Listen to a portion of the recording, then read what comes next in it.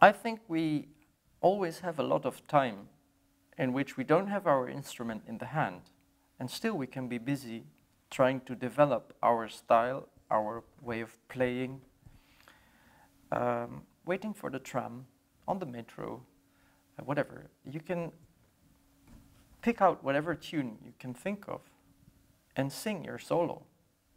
Because if you're able to sing it, that is the real proof that you can imagine it.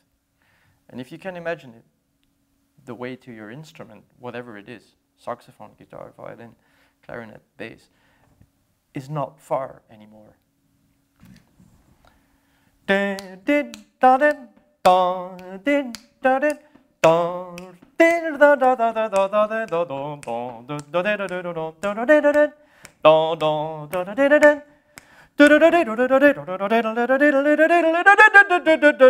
After you've gone